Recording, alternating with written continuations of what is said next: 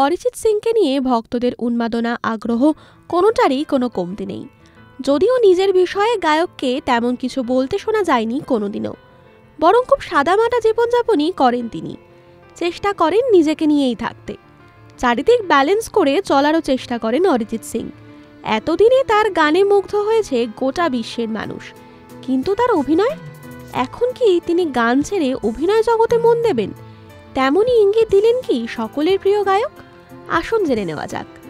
নিজের অভিনয় দক্ষতা নিয়ে এবার মুখ খুললেন অরিজিৎ সিং। একবার এক সাক্ষাৎকারে তাকে বলতে শোনা যায়, তিনি একেবারে এই অভিনয়টা জানেন না। অরিজিৎ সিংকে প্রশ্ন করা হয়, তাকে বেশ কয়েকটি গানে দেখা গিয়েছে ফিচার হতেও। লুক একেবারেই অন্যরকম ছিল। কীভাবে অভিনয় করে সকলের নজর কাড়লেন তিনি? এই প্রশ্ন শুনে হাসতে হাসতে অরিজিৎ সিং জানিয়েছিলেন, তিনি অভিনেতা নন। তিনি অভিনয়টা একেবারেই জানেন না। তাকে এই বিষয়ে বেশ প্রশিক্ষণ দিতে হবে। অরিজিৎ জানান, তাকে একটা গিটার হাতে বসিয়ে দিলেই হয়। এর বাইরে তিনি কিছুই জানেন না। মেকআপ থেকে সাজগোজ কোনো বিষয়ে খেয়াল রাখেন না তিনি। অরিজিৎ মজার ছলে জানিয়েছিলেন, একবার এক পরিচালক তাকে অনুরোধ করেছিলেন, চুলটা যদি একটি একটিবার তিনি ঠিক করে নেন।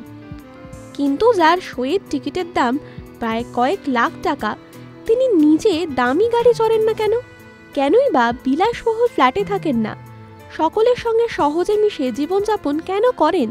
অসাধারণ হয়েও সাধারণ থাকার মূল মন্ত্র কি? এর উত্তরে গায়ক জানান, এটা তো একদম ইউনিক প্রশ্ন, আমি এভাবেই থাকি, আর এভাবেই আমি ভালো থাকি। এরকম আরও অনেক ভিডিওস দেখার জন্য চোখ রাখুন আমাদের চ্যানেলে এবং পাশে থাকা বেল আইকনটি ক্লিক করতে ভুলবেন না।